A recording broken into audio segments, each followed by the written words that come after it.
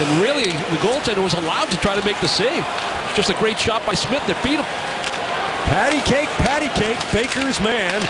Does that count? I should say so. Dougie Hamilton rips one in, and nobody can take this one away. Hamilton, the right shot, working to the left point, but it still is an effective play. The overload on one side from the half wall down to the goal line. Soderberg with that little hesitation.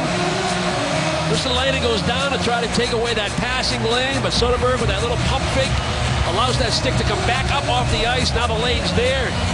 Great shot, good finish. Dougie Hamilton, a bullet just inside that near post. It came right in front of the net.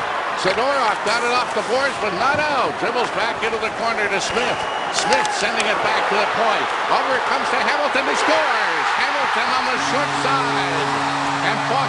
Tied it at three with 91 seconds remaining in the third.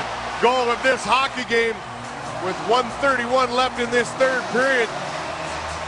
And that puck just goes short side. And the way you look, Jonas Enroth like to have that one back. He's coming across. He's able to see the shot and everything. And it just beats him. We've talked so much about that glove coming up with a big save. Right there, that time it let him down.